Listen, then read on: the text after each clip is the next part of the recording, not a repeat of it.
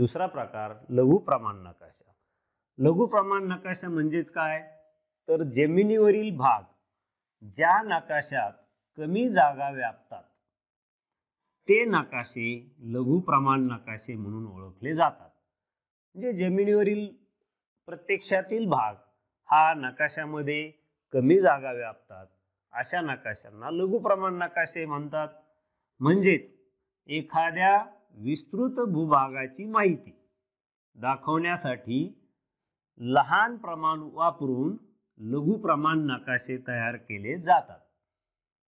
उदाहरणार्थ नकाशा संग्रहालयातील नकाशे त्यामधील जगाचा नकाशा हे लघु प्रमाण नकाशांची उदाहरणे आहेत.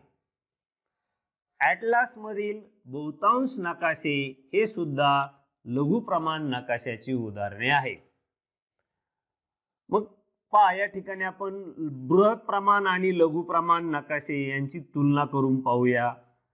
तर बृहत प्रमाण म्हणजेच काय? की जे नकाशामध्ये एकाच दहा हजारपेक्षा लहान अंक प्रमाण असलेले नकाशे जे असतात ते बृहत प्रमाण नकाशे म्हणून ओळखले जातात. आणि एकास पन्नास हजार. या अंक प्रमाणात असलेले नकाशे हे लघु प्रमाण नकाशे म्हणून ओळखले जातात.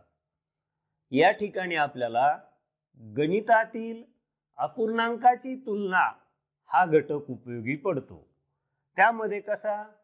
तर एकास दहा हजार म्हणजेच एक छेद दहा हजार हा पहिला अपूर्णांक जर आपण धरला आणि एकास पन्नास हजार हा दुसरा अपूर्णांक जर गृहीत धरला तर या ठिकाणी अपूर्णांकाच्या तुलना करताना ज्याचा छेद लहान तो अपूर्णांक मोठा आणि ज्याचा छेद मोठा तो अपूर्णांक लहान.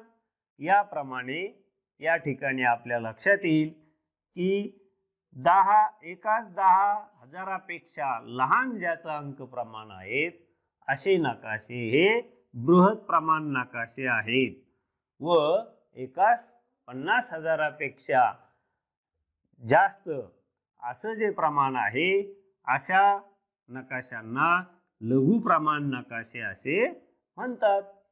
धन्यवाद.